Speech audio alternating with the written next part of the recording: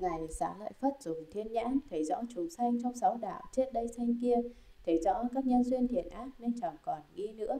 Thế nhưng vì những người chưa có được thiên nhãn, chưa thấy xa rộng được như Ngài, mà Ngài phải hỏi Phật như trên đây, vì sao? Vì có nhiều vị thanh văn giới niệm khinh khi các Bồ Tát, vì thấy các Bồ Tát hành sáu pháp ba la mật, lại nguyện ở lâu trong sanh tử, hoặc vì thấy các Bồ Tát chưa đoạn giải các lậu mà lại dùng trí huệ học các kinh thơ, nội và ngoại điển. Hoặc vì thấy các Bồ Tát chưa chứng được thật kế thế, thật tế chưa thoát khỏi sanh già chết, chưa vị thành văn ấy nghĩ rằng các Bồ Tát đã tu tập trải qua vô lượng kiếp mà vẫn chẳng chứng được niết bàn, ắt là phải đạo vào đường ác. Ngài xá lợi Phất thương xót các vị thanh văn ấy, muốn họ sanh tâm tin kính các Bồ Tát, mà Ngài phải hỏi Phật như trên, mong được Phật giải đáp để cho họ đều được rõ. Bởi nhân duyên vậy, nên Phật đã khai thị rõ về ba hạng Bồ Tát sanh về cõi này. Đó là hạng Bồ Tát từ các cõi Phật khác sanh về cõi này, hạng Bồ Tát từ cõi trời đâu xuất sanh về cõi này, hạng Bồ Tát từ trong loài người sau khi mạng chung trở lại sanh làm người ở cõi này. Hỏi, thế gian có sáu đạo, vì sao chỉ nói đến trường hợp Bồ Tát sanh làm người ở cõi này, mà chẳng có đề cập đến các đạo khác. Đáp như trước đây đã có nói trời Atula hưởng lạc nhiều nên khó tu, địa ngục ngạ quỷ súc sanh là ba đạo thuần khổ cũng rất khó tu để được đạo. Bởi vậy nên chẳng có nói đến. Hỏi, trong kinh có nêu trường hợp một vị đệ tử của Ngài Xá Lợi Phất, trần tợ như chân châu mà đã quả A-la-hán, lại còn có vị tỷ kheo tên là Ma Du Bà Thi Tha, suốt 500 đời làm thân khỉ, mà khi được làm người cũng chứng được sáu thần thông được quả a la hán và khi đã được quả a la hán rồi, ngài còn thói nhảy nhót như loài khỉ. Vì sao chẳng có nói đến trường hợp được đạo ở trong ba đường ác? Đáp, tuy rằng trong loài súc sanh cũng có trường hợp được đạo nhưng vì quá ít nên chẳng có nêu ra ở đây. Lại nữa, các vị ấy trải qua nhiều đời đã gieo trồng các thiện căn công đức, đã tu đạo niết bàn. Nhưng vì đã có phạm lỗi lầm khiến phải đọa vào ba đường ác, khi đã đoạn các nghiệp rồi thì các vị ấy lại được sanh làm người để tiếp tục tu học. Do đã sẵn có các thiện căn thuần thục rồi nên dễ được quả báo tốt vậy. Đoạn kinh trên đây nêu những trường hợp được đạo trong loài người. Có người tuy đời trước có cấu tâm nhưng đời nay tu tập được đạo Bồ Tát, được tâm thanh tịnh vô lậu. Những người ấy đã thành tựu được các thiện căn hữu lậu cũng như vô lậu, nên nay sanh lại làm người, cũng lại thứ lớp tu tập hướng về vô thượng Bồ Đề. Ở trong loài trời, loài Atula cũng có những trường hợp tương tự. Hỏi, vì sao ở cõi trời đâu xuất thường có các vị Bồ Tát nhất sanh bổ xứ đến thuyết pháp, mà ở các cõi trời khác chẳng có được như vậy? Đáp, ở cõi sắc trừ thiền thường hay đắm thiền vị, nên ở đây có được tương ưng với bát nhã ba la mật. Chư thiên ở cõi trời đâu xuất do kiết sườn cạn mỏng, nên mới nghe được các vị Bồ Tát nhất sanh bổ xứ thuyết pháp mới thường nghe được bát nhã ba la mật do nghe được bát nhã ba la mật mà tâm càng được lanh lợi hơn các vị từ cõi trời đâu xuất cũng như các vị từ cõi Phật khác sanh về cõi này đều là những vị lợi căn thượng trí ở trong vô lượng a tăng kỳ kiếp đã xa lìa tội lỗi.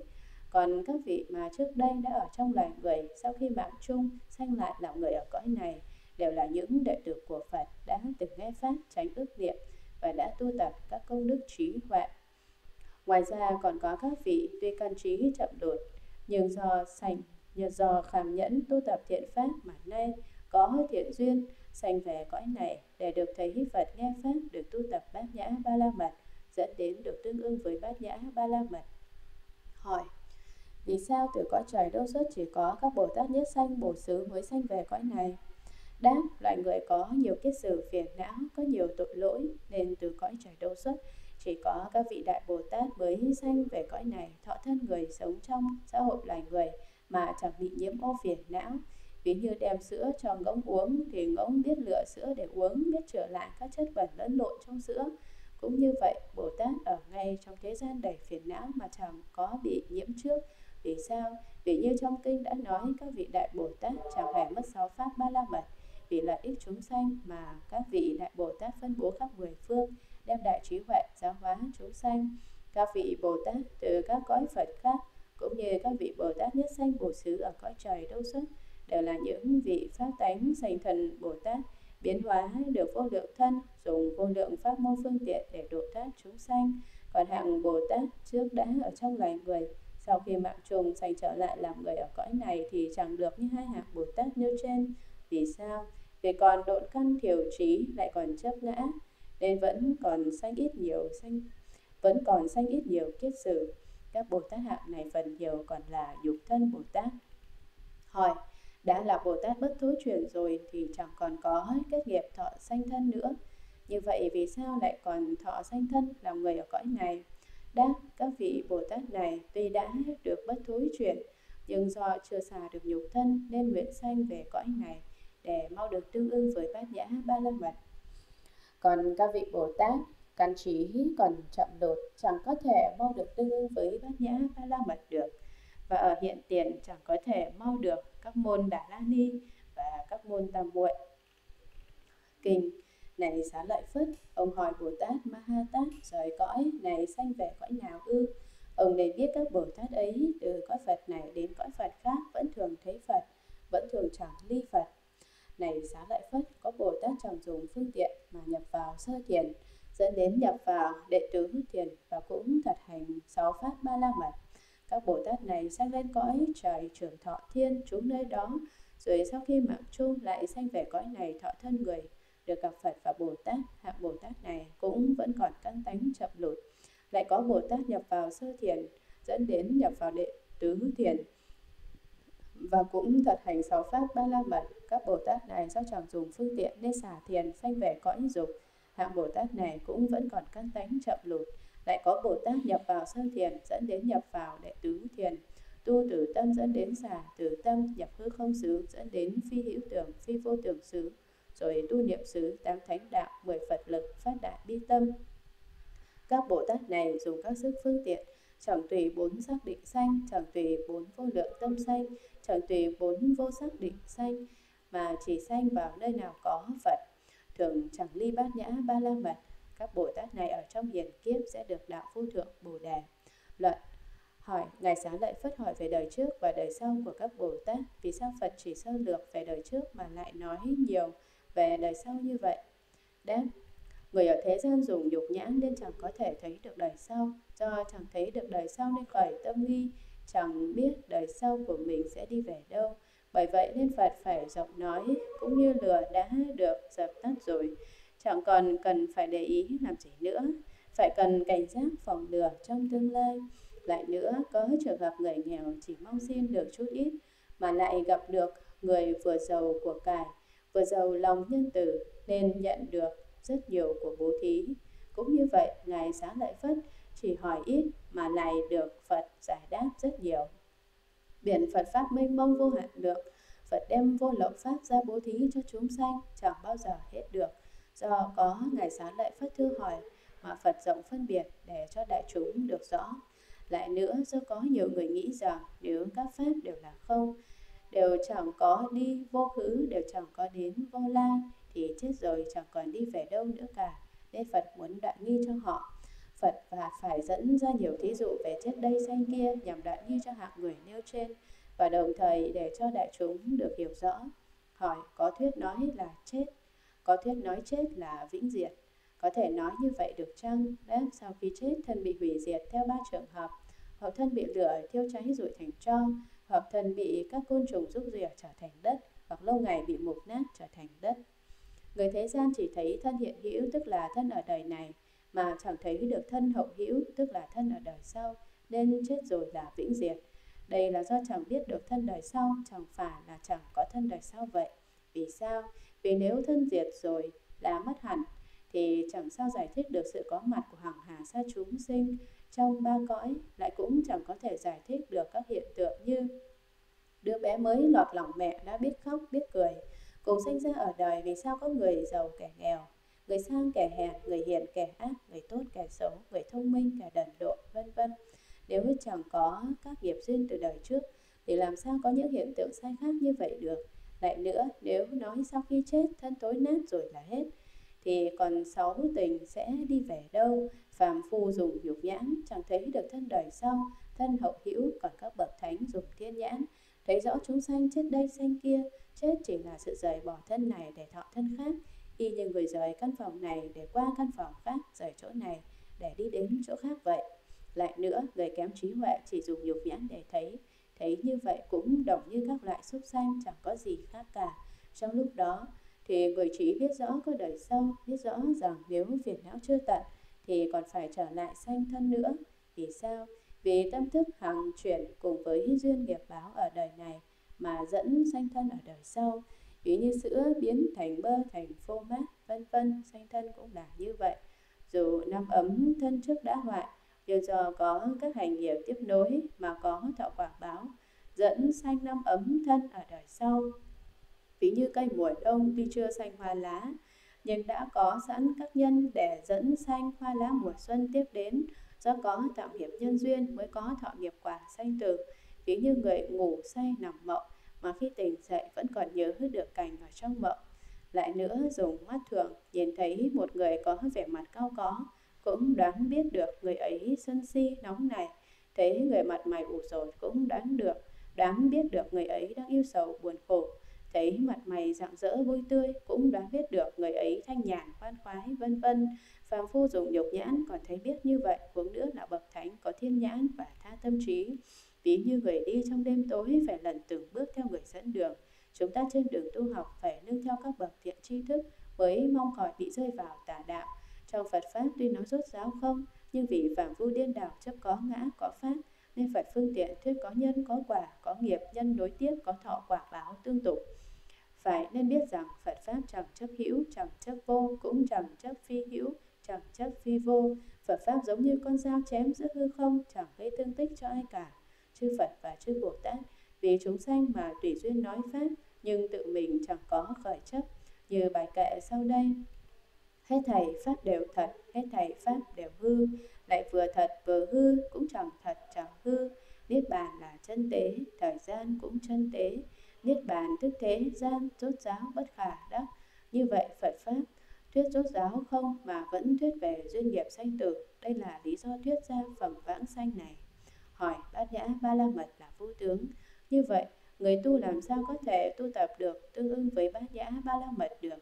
Đáp bát nhã ba la mật nhiếp hết thảy các pháp, ví như biển lớn tiếp nhận hết thảy các nguồn nước từ muôn sông chảy đến, nên biết rõ bát nhã ba la mật là vô tướng, thì đâu còn gì để vấn nạn nữa. Nếu ở bát nhã ba la mật mà còn chấp tướng thì mới nên vấn nạn như vậy. Người tu hành khi đã vào được hết thảy các tam muội đã được tâm rộng lớn, là liền được tương ưng với bát nhã ba la mật. Ví như cha mẹ thấy con phạm lỗi lầm, sanh tâm thương xót, tìm mọi cách để dìu dắt con ra khỏi mê lầm. Cũng như vậy, Bồ Tát thấy chúng sanh mê lầm bị các nhiễm duyên trói buộc, chẳng biết được tự tánh không của các pháp, khiến phải bị đoạn lạc nên dùng mọi phương tiện cứu vớt chúng sanh ra khỏi các khổ. Bồ Tát phát tâm đại bi thương xót chúng sanh, dạy họ tu học, dẫn họ vào Phật đạo. Bởi nhân duyên vậy, nên Bồ Tát đi từ Phật độ này đến Phật độ khác, dùng năm thần thông cúng dường vô lượng chư Phật. Độ vô lượng chúng sanh, chúng sanh dùng nhục nhãn, chẳng thấy được các cõi Phật. Còn Bồ Tát thấy khắp hết thảy các cõi Phật, chẳng có gì ngăn ngại cả. Tuy nhiên cũng có Bồ Tát chẳng dùng phương tiện mà vào thiền định, rồi đắm thiền vị, trú trong thiền định mà chẳng niệm chúng sanh. Hạng Bồ Tát này vì tâm từ bi kém, nên sanh lên cõi trời trường thọ thiên là phi hữu tưởng, phi vô tưởng xứ. Ở nơi đây chẳng có tình sắc cũng chẳng có đạo Bồ Đề. Hạng Bồ Tát này nếu được sanh trở lại làm người, nếu được gặp Phật Pháp thì sẽ nhớ lại sự phát tâm Bồ Đề trước đó, dẫn đến sẽ tu tập bát nhã ba la mật. Trong kinh có chép một chuyện sau đây, và một hôm Phật hỏi một vị tỷ kheo rằng, đất ở móng tay ta và đất ở đại địa bên nào nhiều hơn? Vị tỷ kheo đáp, Bạch Thế Tôn đất ở đại địa nhiều hơn. Phật dạy, chư thiên ở các cõi trời sanh làm người rất ít, chỉ ví như đất ở móng tay ta còn đoạn vào địa ngục rất nhiều như đất ở đại địa. Vì sao? Vì ở cõi trời hưởng phước quá nhiều nên khó tu hành khi hết phước thường bị đoạn. Hỏi trong hai hai căn thì độn căn nhiếp về những căn nào? Đáp Người đã được huệ căn rồi, quán được thật tướng Pháp rồi, nhưng khi vào thiền định mà đắm chấp thiền vị thì cũng sẽ trở thành độn căn. Ví như có đầy đủ năm căn tín tấn niệm định huệ, hòa hợp làm trợ đạo pháp dẫn sanh lên cõi trời nhưng nếu thọ phước báo ở cõi trời mà sanh tâm chấp đắm thì cả năm căn nói trên đều trở thành nội căn cả trong kinh nói Bồ Tát đã được phước đức thanh tịnh đã có được 18 căn lanh lợi nhưng nếu các căn còn lại chấp đắm thì cũng sẽ trở thành nội căn Trong kinh Pháp Hoa có nói, nếu chẳng còn các chấp trói buộc gây ra phiền não thì mạng căn được an ổn và các căn kia cũng trở thành lanh lợi. Như vậy gọi là lợi căn. Lại nữa khi thọ lạc, biết rõ lạc là vô thường, chẳng đắm lạc, cũng chẳng tham dục thì sẽ sanh được tín căn kiên cố, vững tin nơi mình, khiến có thể làm được các việc rất khó làm xa địa dục lạc. Biết rõ dục lạc là tội lỗi, tu tập đầy đủ ba thiện căn, như vậy gọi là lợi căn. Bồ Tát ở nơi ba vô lậu căn mà chẳng thủ chứng thật tế nên gọi là lợi căn, trái lại thì gọi là độn căn.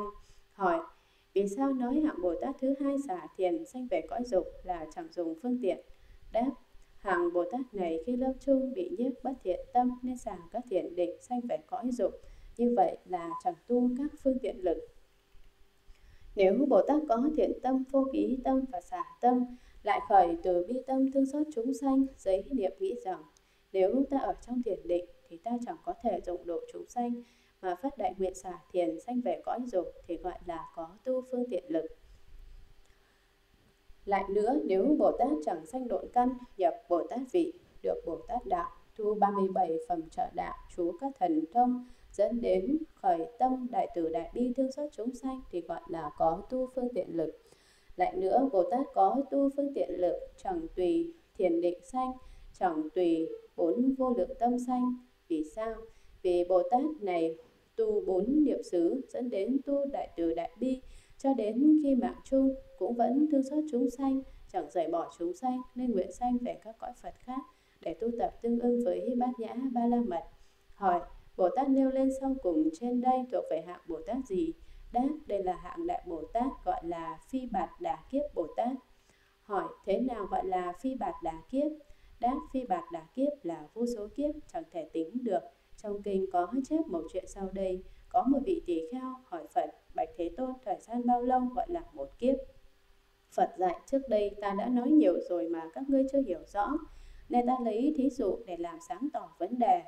Nhỏ nhất là 60 niệm hợp lại thành một đại niệm. Đại niệm đó cũng gọi là một kiếp. Còn nói về đại kiếp thì chẳng có toán số thí dụ nào ở thế gian có thể tính được. Như có một cái thành hình vuông mỗi bề 100 do tuần, lại có một người sống lâu 100 tuổi đập nát thành ấy thành bụi, rồi suốt đời đếm các hạt bụi ấy, thì người ấy cũng chẳng sao đếm hết được. Thế nhưng nếu lấy một hạt bụi dụ cho một kiếp, thì thời gian của vô số kiếp ấy hợp lại cũng chẳng sao so sánh được thọ mạng của một đại kiếp. Phân biệt đại kiếp và tiểu kiếp như đã nói trên đây cho thấy rằng thọ mạng của một đại kiếp là vô lượng vô biên.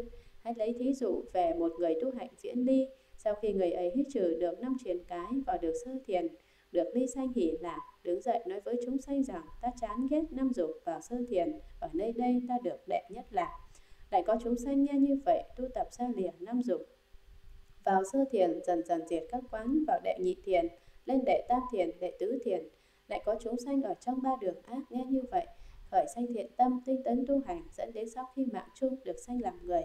Thời gian tu tập của các chúng sanh nói trên đây chẳng có thể lượng được, nhưng vẫn chẳng sao so sánh được thọ mạng một đại kiếp. Dù thọ mạng của một đại kiếp lâu bền như vậy, nhưng kiếp cũng vẫn là sanh diệt vô thường. Ở trong phẩm 18 không đã có nói rõ đại kiếp trụ ba tai họa lớn dẫn đến kiếp tận.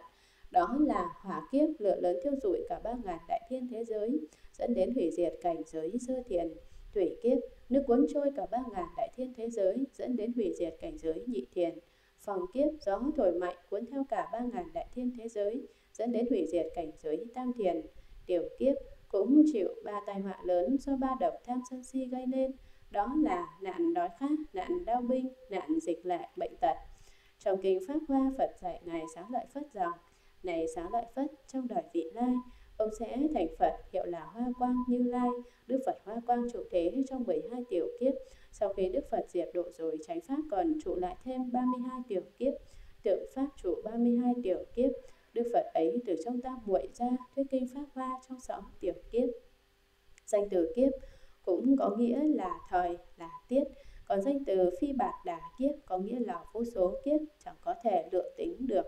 Lại nữa, vào thời không có Phật, thế giới bị ba tai họa lớn làm tán hoại. Thời ấy gọi là không kiếp. Thế rồi bốn đại thanh tịnh hòa hợp trở lại tạo dựng thế giới mới. Thời ấy gọi là hiền kiếp. Lúc bấy giờ từ dưới nước mọc lên một đóa hoa sen ngàn cánh. Vị trời ở cõi trời tịnh cư thiên biết đó là điểm báo sẽ có ngàn Đức Phật hiện ra ngồi trên các hoa sen ấy tỏa hào quang rực rỡ. Một thế giới trải qua bốn thời kỳ thành trụ hoại không, sau đó lại được thành lập trở lại và tiếp tục chu trình của bốn thời kỳ như trên. Kinh Cảnh Sách nói, một thời kỳ gồm 20 tiểu kiếp, cộng chung bốn thời kỳ là 80 tiểu kiếp.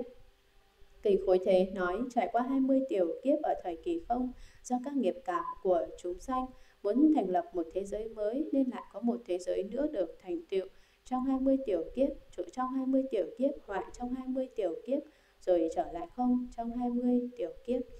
Kinh này xá lợi phất, lại có Bồ Tát nhập vào sơ thiền dẫn đến nhập vào đệ tứ thiền, nhập từ tâm dẫn đến xả từ tâm, nhập hư không xứ dẫn đến nhập phi hữu tưởng, phi vô tưởng xứ, rồi dùng các sức phương tiện chẳng tùy thiền định sanh mà sanh về cõi dục và các dòng họ lớn để thành tựu chúng sanh. Luật hỏi trước đây đã phân biệt nói có hai hạng Bồ Tát, đó là hạng Bồ Tát tùy nghiệp sanh thân, hạng Bồ Tát tùy phát tánh sanh thân. Hạng Bồ Tát này có biến hóa thân ở trong khắp ba cõi, làm các công đức nhập độ sanh. Như vậy ở đoạn kinh trên đây nói về hạng Bồ Tát nào? Đáp, ở đây nói về hạng Bồ Tát tùy nghiệp sanh thân. Vì sao? Hạng Bồ Tát này chưa có được pháp thân, nhưng do vào các thiền định mà có các sức phương tiện, hạng Bồ Tát này chẳng muốn theo thiền định sanh mà chỉ muốn dùng các sức phương tiện sanh về cõi dục để làm lợi ích cho chúng sanh ở cõi này. Hỏi, nếu chẳng muốn theo thiền định sanh thì vì sao lại sanh về cõi dục mà chẳng sanh về các cõi khác? Đáp hạnh nguyện của các Bồ Tát chẳng đồng nhau, mỗi vị đều có hạnh nguyện riêng. Hỏi, có Bồ Tát nguyện sanh về các cõi Phật khác, như vậy ở các cõi Phật ấy cũng đều có cõi dục chăng?